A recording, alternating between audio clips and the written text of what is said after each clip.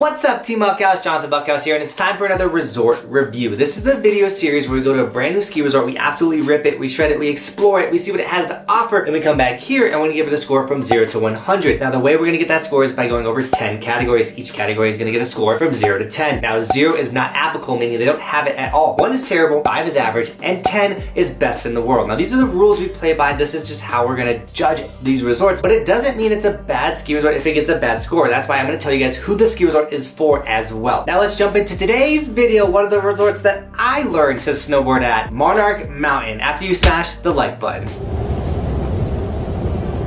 Now Monarch has an elevation of 11,952 feet, a vertical drop of 1,162 feet, 800 skiable acres, and they get 350 inches, not feet, of snow a year.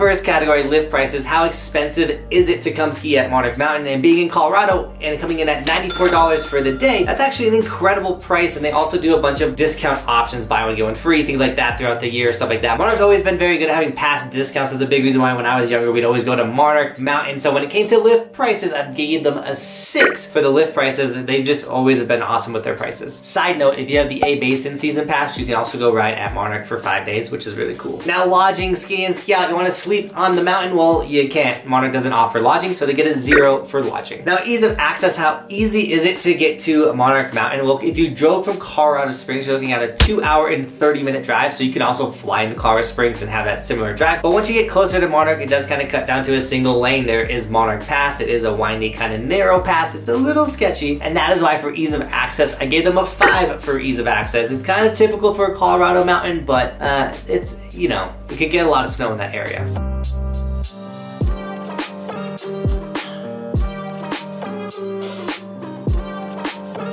Now I know what you're wondering, Johnathan, why did you grow up riding Monarch Mountain? Well, we'll get to that in this video, but you guys should also go check out resortskimaps.com because we have a goal to ride every resort in the United States and you guys can track that by going to resortskimaps.com. Now this is a resort map of every resort in the United States. Every single green guy, you can click on them and watch the video there because that's where we have gone so you can see all of our videos at that ski resort as well as the other ones nearby it. Now if you click on a red guy, nothing's gonna pop up because we haven't been there yet. So click the top right hand corner, you can see our schedule for the upcoming ski season. That way if you know we're coming to your ski resort, you can take time off for work, skip school, do whatever you need to do to show up at the mountain the same time as us so we can rip and shred with you guys because we absolutely love riding with the locals. The locals not only make the vlogs better, but they make the resort review better as well because you guys are showing us all the cool places to ride, where to go, things like that. So thank you to all the locals that do show up and show us around. You guys are incredible, but also guys, check out resortskimaps.com. It is the coolest place to plan any trip, anything you want to do with skiing and snowboarding. Check out all the resorts in the United States. You can do that at Now lifts, chairlifts, we gotta get up the mountain and sadly Monarch can really use some chairlift upgrades. They have a lot of old two-seater lifts, five lifts in total. I remember when I was little, I used to think it was fun to bounce the lifts, which was sketchy looking back at it, but I also jumped off the chairlift at Monarch. I don't recommend doing that kids. I got my pass pulled for the day for doing that, but Monarch is a place that I've jumped off the chairlift, which was, I did that when I was like 12. Yeah, I got in big trouble. But they also have two surface lifts for the beginners out there. So Monarch will get you up the mountain for sure, but it's just not fancy. There's no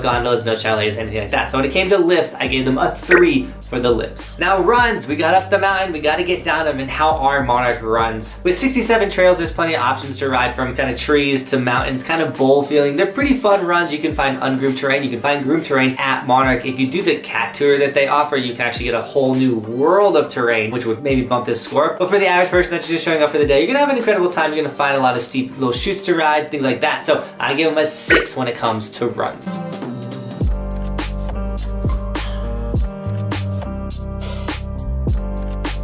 Now Terrain Park, Monarch is the place that I saw the first person do a 360 on a big jump and I was like, I wanna do that, oh my gosh. Monarch's Park is super fun. They don't make any snow, so they're kind of limited to the snow that they get. And the jumps they build are a little sketchy, but their rails are always on point. It's always a fun park. I always have a good time when I ride at Monarch. They do their best with what they got. I think they call it Steel City as well. So when it comes to park, I gave them a four for the park. It's just a, it's hard to give them a four because it is the place that got me into park riding and I absolutely love riding the park, but it is what it is.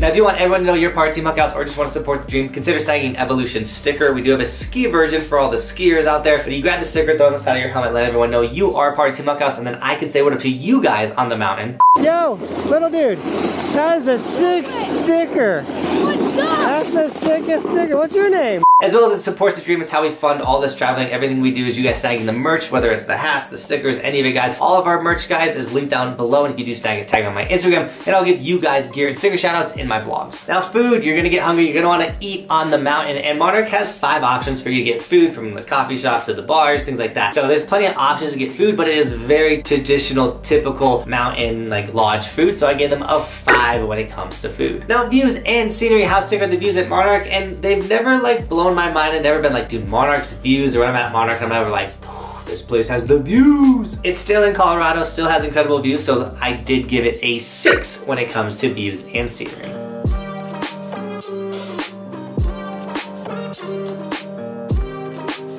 Employees, we don't cover snow conditions because East Coast, Midwest, West Coast, it varies completely. Also time of the year, early season to late season. Snow conditions, it varies. But employees can absolutely ruin your day in the mountain like we had at Keystone, so you can check out the Keystone incident right here. Or they can absolutely make your day in the mountain. So many employees have given us an incredible experience on the mountain. And when it has come to Monarch, over the 20-ish times that I've gone to Monarch Mountain, they're netting at like a five, an average. No one's ever made my day or broke my day. It's been pretty fair. Even when I jumped up the lift and got my pass pulled, those dudes were still rad and like, come on man, you can't be jumping off the lifts and stuff like that. So, uh, and the employees are getting a five. Now the last category, the would I go back factor, because if I want to go back to ski resort, why would I recommend it to you guys? And this one gets a little bit of a higher score because I learned to snowboard on this mountain. This one in Ski Cooper were the two that I learned how to make my S-turns, started riding park, all that kind of stuff. So when it comes to would I go back, I give them a 10 on the would I go back. Monarch still holds the true, like, ski resort vibe. You know, they're getting better, they're improving so much. It doesn't feel like a corporation when you're there though, and that's so special, and that's a big reason why I would also go back to Monarch, because I get to go blast to the past, like what it felt like to at ski resorts before these mega corporations came in and kicked down the door.